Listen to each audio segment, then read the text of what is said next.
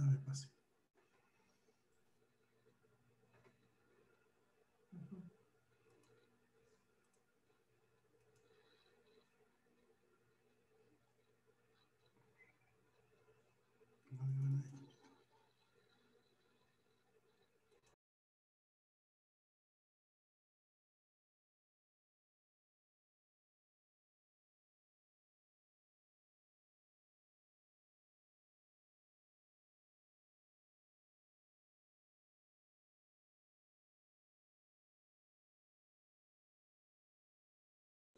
Buen día, buen día.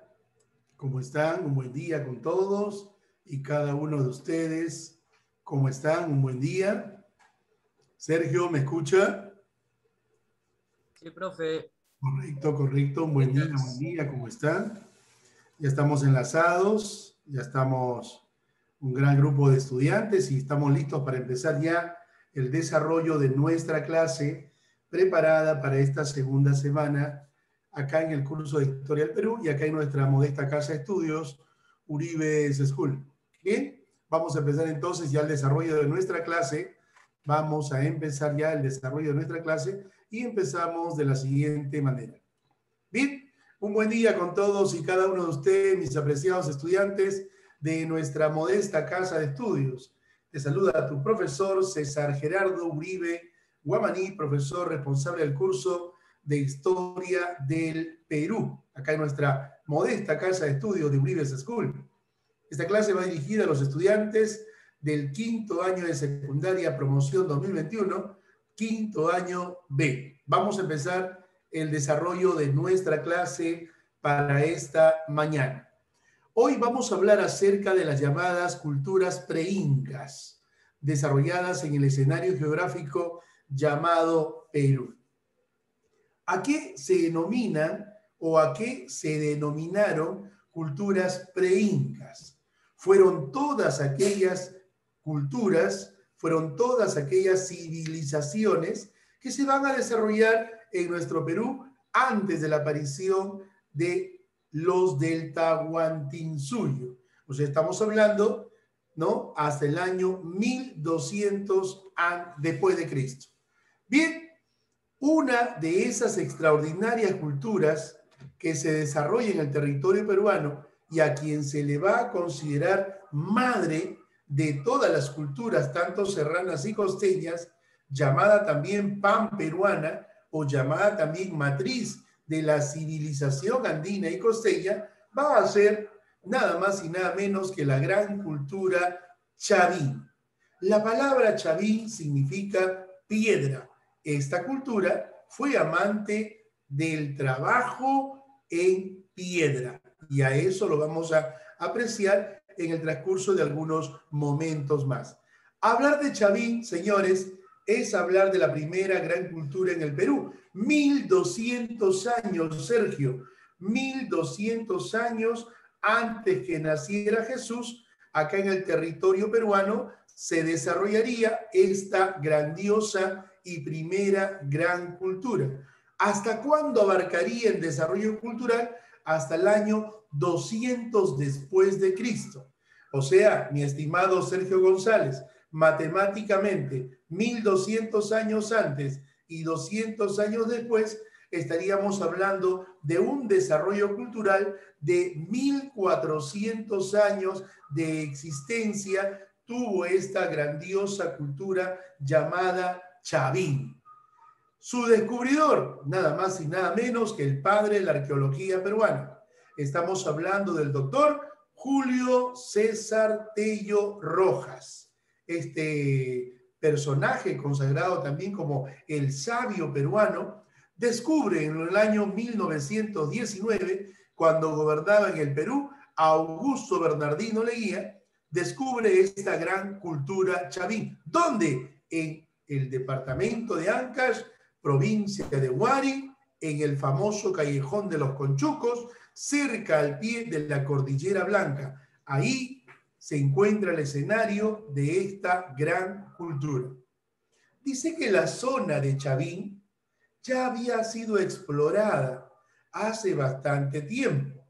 En los tiempos de la colonia, Pedro Ciesa de León, el gran cronista, ya visitó la zona de Chavín y se quedó anonadado con tan hermoso paisaje. Pasados los años, un geógrafo italiano llamado Antonio Raimondi, ¿se acuerdan de él? Aquel personaje que expresó, el Perú es un mendigo sentado en una banca de oro, Antonio Raimondi. Antonio Raimondi visitó la zona de Chavín, ¿sí? Exploró y gracias a él, pues se bautizó con su propio apellido la estela lítica de Chavín, esa piedra ceremonial religiosa donde los chavinenses pues dan a conocer qué cosa, la presencia de su gran Señor, su Dios principal, el famoso Apu Contiki Huiracocho, el Dios creador de todas las cosas del mundo, creador y hacedor de todas las cosas del mundo. Bien, todos sabemos que a Julio César Tello pues se le consagra como el padre de la arqueología peruana, es correcto. Él fue quien dedicó su vida a los trabajos de investigación, a los trabajos de exploración y, arqueología. Tello fue aquel precursor de la teoría autoctonista en el Perú, mi apreciado Eric Ore, Candy Silva, Nicole Soto. Tello lanza su teoría para explicar el origen de la cultura peruana. ¿Te acuerdas de tu profesor César Uribe? Cuando estabas todavía en primero o segundo. Tello lanza su teoría llamada la teoría autoctonista para explicar el origen de la cultura peruana. ¿Y cuál fue la teoría de Tello? La famosa hipótesis autoctonista. ¿Qué decía Tello? Que la primera gran cultura, que la primera gran cultura va a ser Chavín, 1200 años antes de Cristo. Esta se consagraría como madre de todas las culturas, tanto serranas y costeñas. Tello explicó que este grupo humano que habitó Chavín, antes de llegar a Chavín, Valeria, antes de llegar a Chavín, estuvo primero, ¿dónde? En la parte oriental de los Andes. Estamos hablando de la Amazonía. Ahí, según el doctor Julio César Tello, esto, este grupo humano perteneciente a la tribu de los Arawak, ¿qué cosa? Luchó contra, la, luchó contra el clima, contra la geografía de esta zona. Acuérdense ustedes que la Amazonía es una zona bastante contradictoria, ¿no? A la necesidad del hombre. Es una zona nubosa, calurosa, lluviosa, mire usted. No se acostumbraron, no se aclimataron a pesar de los años, pero sí se desarrollaron y vivieron ahí.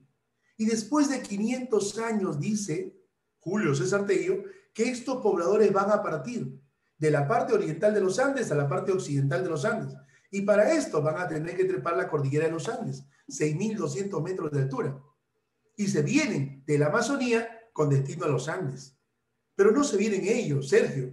Se vienen también sus costumbres, sus creencias, su modo de vida, sus plantas, sus animales, sus ritos, su medicina. Todo esto se viene de la Amazonía con destino a los Andes. Y cuando se van a ubicar ellos sobre los 3.150 metros del nivel del mar, en la región Chavín, y ahí se van a acentuar, miren, también se acentúa todo lo que ellos habían experimentado en la Amazonía. Por esa razón, Tello dice que se trata de una cultura con influencia amazónica. Esta cultura desarrollada acá en Chavín, 3.150 metros de altura, daría luz, procrearía, daría luz a las posteriores culturas como Paracas, como Nazca, etcétera, etcétera, etcétera. Si estudiamos a Nazca, hoy estudiamos a Nazca, si estudiamos a Paracas, hoy estudiamos a Paracas, vamos a ver que Paracas nace con la misma nariz que Chavín. Nazca nace con la misma ceja de Chavín. Entonces estamos hablando de una cultura madre. Estamos hablando de una cultura matriz. Por eso se llama cultura matriz.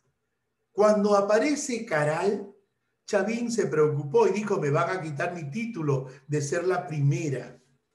Conforme fueron pasando los años, Mire usted, conforme fueron pasando los años, nos vamos enterando de que se trata de una civilización. no considerada como cultura. Y Chavín sigue siendo la primera desde ayer hasta el día de hoy. Entonces, este gran descubrimiento, mis apreciados estudiantes, lo debemos nada más y nada menos que al padre de la arqueología peruana. ¿De quién estamos hablando, Candy? Candy, ¿de quién estamos hablando? Lizarbe, Candy Lizarbe, grítalo. ¿De quién estamos hablando? Candy. Profesor.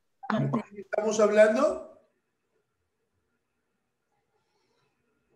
¿A quién se le considera como el padre de la arqueología peruana, Candy? Julio César Tello. A Julio, ¿me estás preguntando? A Julio. Julio César. Tello, correcto. Grítalo otra vez, a ver.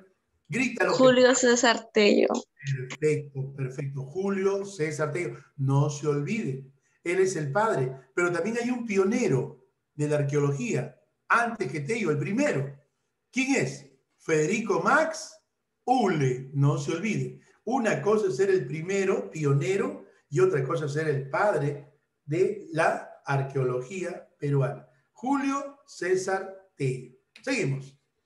Ubicación geográfica, geográfica. Mire usted, el centro ceremonial de esta gran cultura, te dije hace un instante, se encuentra ubicado en el famoso Callejón de los Conchucos el callejón de los chuquilitos.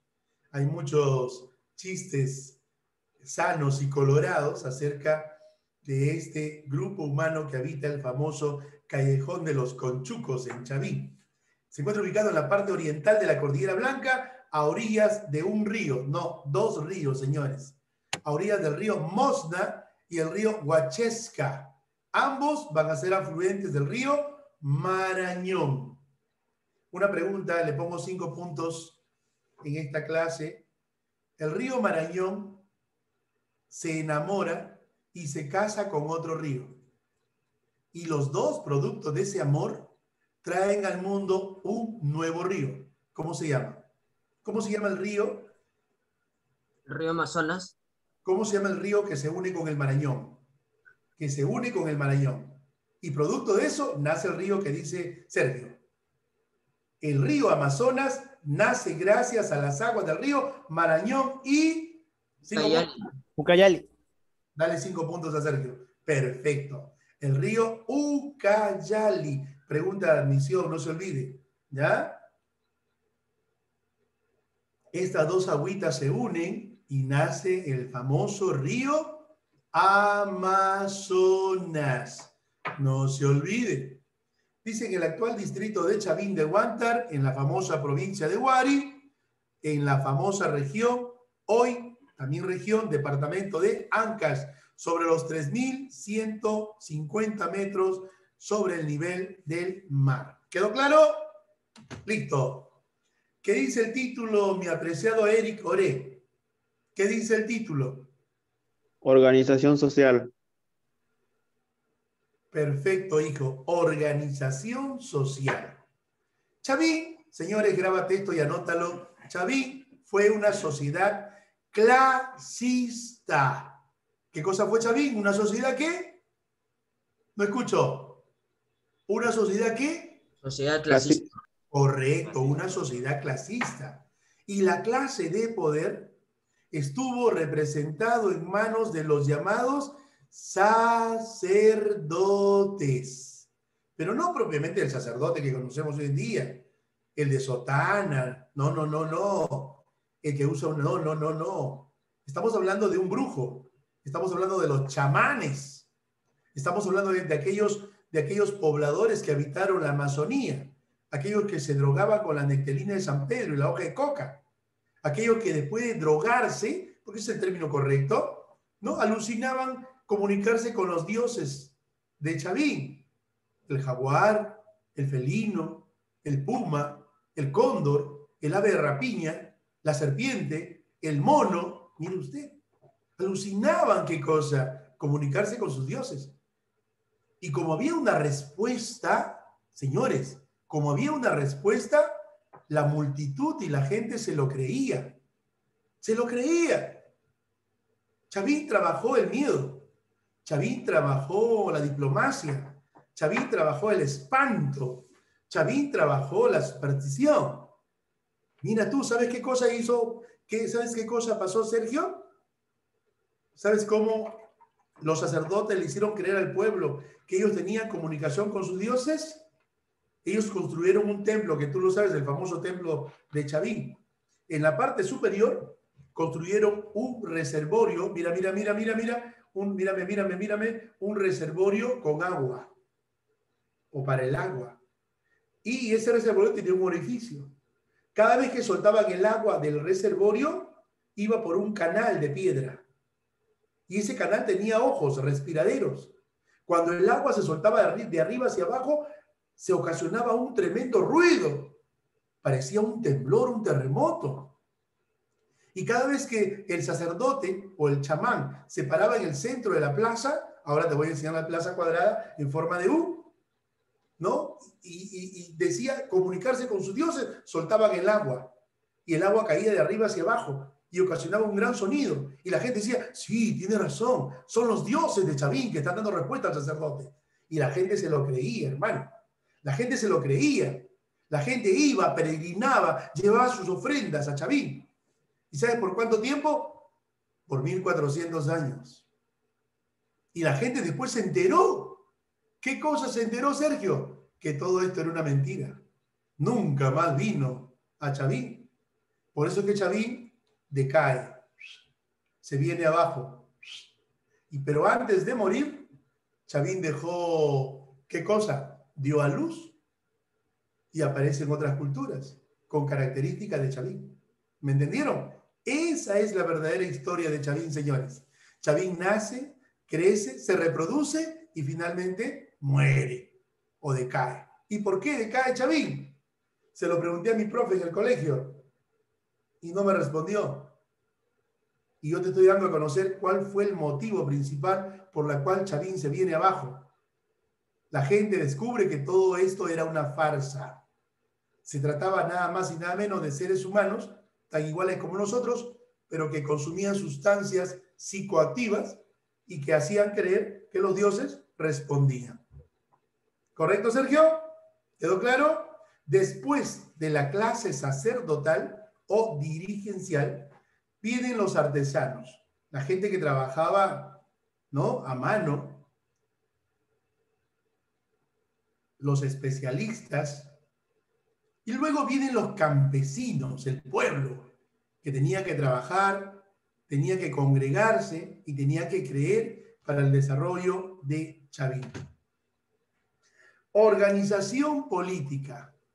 No te olvides, está bien claro ahí en la parte del texto. El Estado Chavín fue teocrático, un gran espíritu de religiosidad estuvo controlado por los sacerdotes, ¿no? Llamados especialistas, quienes gobernaron en nombre de los dioses de Chavín. Ya te dije, una religión que se va a convertir en politeísta. El ave arpía, eh, la serpiente, el halcón, mire usted, el puma, el felino, ¿no? Se van a convertir en dioses de Chavín. La sociedad chavín fue clasista. Los sacerdotes y guerreros acaparaban los recursos, mientras que el pueblo era explotado para producir más, más y más. Ahí está. La religión, la creencia en varios dioses. Por esa razón, esta fue politeísta. Miren ustedes, adoraban, adoraban a dioses terroríficos, ¿no? Con figuras zoomorfas, antropomorfas, fitomorfas, etc. La religión de Chavín había tenido influencia selvática. Miren, ya que en sus esculturas ellos van a expresar y mostrar seres sobrenaturales, los cuales recogían rasgos felínicos o felinos, así como el jaguar y el puma, pero también habían caimanes, serpientes, entre otros. Diversas aves andinas, como el águila, el cóndor y también el halcón. Los chavinenses, es verdad, le rindieron culto a muchos dioses, por eso fueron politeístas. Pero, escúchame bien, pero a tres dioses principales. Esos tres dioses forman la trilogía. El puma, el cóndor, o también la serpiente. No te olvides, estos animales consagrados como dioses en Chavín van a estar siempre presentes en todas las esculturas. La encontramos en el azul monolítico, la encontramos en el obelisco Tello, la encontramos en la estela Raimondi, la encontramos en las cabezas clavas, etcétera, etcétera, etcétera. ¿Quedó claro? ¿Cuál fue la base de su economía? Nada más y nada menos que la agricultura. Es por esa razón que ellos se van a acentuar cerca a la presencia de dos ríos, el río Mosna y el río Huachesca. ¿Para qué, profesor? Para utilizar las aguas y regar sus distintos campos de cultivo. Los chavinenses fueron extraordinarios, desarrollaron la agricultura, mira tú, con técnicas de ingeniería hidráulica, construcción de reservorios, canal de regadío, acueductos hechos a base de piedra. Impresionante, Sergio. Trasladaron el agua de los lugares de abundancia de los ríos hacia las partes secas y convirtieron realmente un gran campo de cultivo y eso fue base fundamental de la existencia de Chavín. Mira tú. Pero sin embargo también hubieron otras actividades económicas, ¿no? Como la recolección de plantas silvestres, la caza de animales. Posteriormente también van a desarrollar, ¿no? Ellos la pesca, una pesca llamada pesca continental. A propósito, si yo te pregunto, si yo te pregunto, ¿a qué se denomina pesca continental? ¿Quién me responde? Por cinco puntos.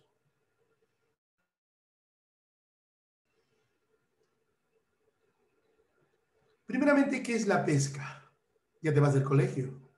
Has llevado geografía cuatro años. Te pregunto, ¿qué es la pesca? Nos ordenamos. ¿Es una actividad productiva, extractiva o transformativa? Extractiva, porque atrae los peces. Correcto. Anótale. Extractiva, perfecto, se extrae. Pero dice, ¿qué es la pesca? Es una actividad económica extractiva ¿correcto? Realizada ¿dónde? ¿Dónde? En las aguas continentales. ¿Y cuáles son las aguas continentales? Estudiantes de quinto año de secundaria. ¿Cuáles son las aguas continentales? Son las aguas de, de, de los ríos, lagos y lagunas del Perú. No te olvides. Llamadas también aguas dulces.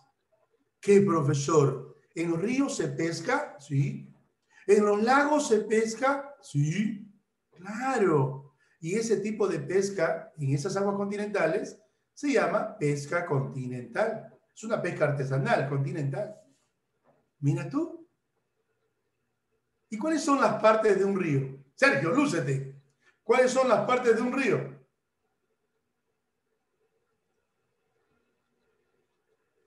¿Cuáles son las partes de un río?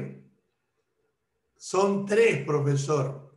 Cauce, caudal y curso. ¿Qué es el cauce? Es la fuente o el lecho de un río. ¿Y qué es el caudal? La cantidad de agua que tiene o que lleva un río. ¿Y cuál es el curso? El recorrido que hace el río, desde su origen hasta su desemboca, desembocadura. No te olvides. ¿Dónde desembocan los ríos? Esa pregunta. ¿Dónde desembocan los ríos? El océano. Correcto. En el mar, en el mar y luego en los océanos. Primero es mar y luego es océano. Si yo te digo El Perú limita al oeste con, en los libros está, con el Océano Pacífico, con el Ocean Pacific, con el OP. No, señor. Con el mar territorial del Perú.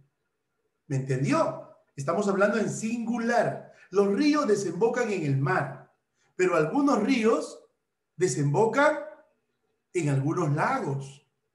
Como por ejemplo, como por ejemplo en el lago Titicaca desembocan muchos ríos.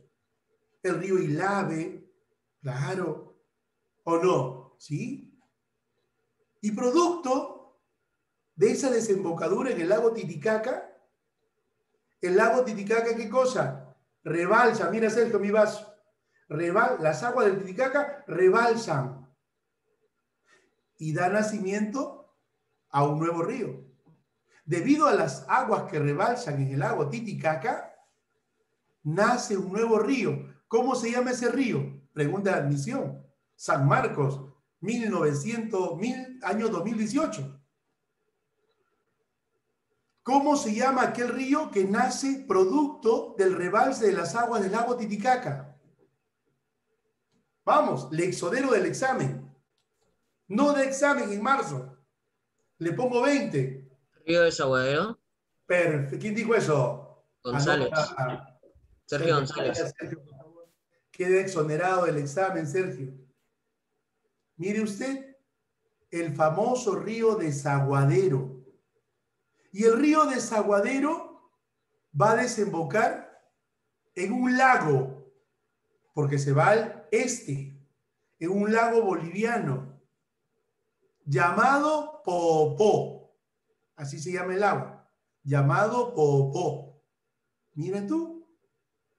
Entonces, profesor, estamos hablando definitivamente de la cuenca hidrográfica del lago Titicaca como también la cuenca hidrográfica, en este caso, del mar territorial del Perú. ¿Por qué se llama mar territorial del Perú?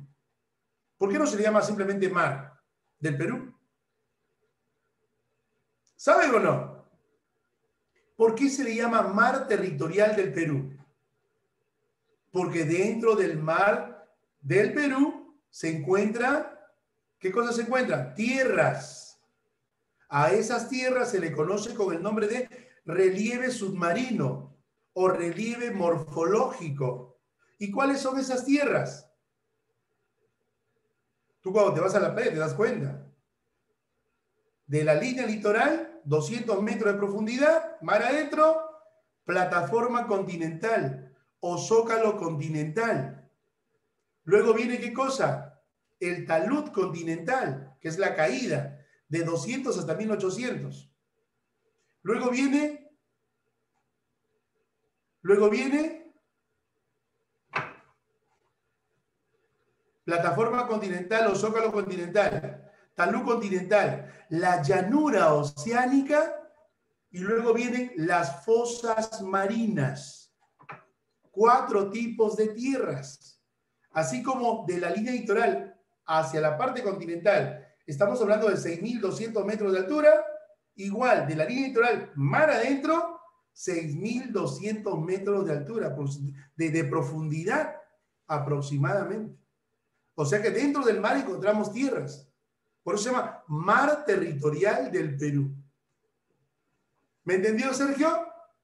Así como el Perú tiene 1.285.215.5 kilómetros cuadrados de tierras continentales, el Perú tiene 526 mil kilómetros cuadrados de tierras que están sumergidas dentro del mar.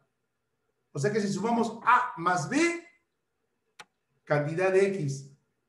Cuando en el examen de admisión te pregunten cuál es la extensión total del Perú, tienes que sumar la parte continental con la parte marítima.